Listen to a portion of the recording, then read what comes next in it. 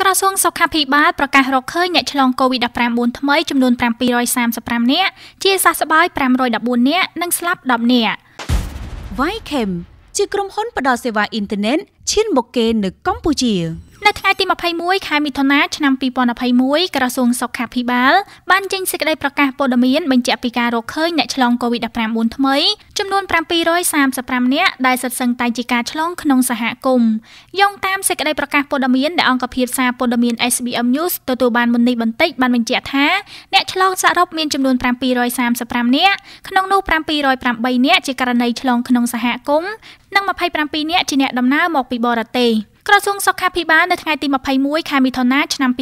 2021បានចេញសេចក្តីប្រកាសពីការព្យាបាលអ្នកជំងឺ Covid-19 ចំនួន514នាក់ជាសះស្បើយនិងអនុញ្ញាតឲ្យចេញពីមន្ទីរពេទ្យផងដែរ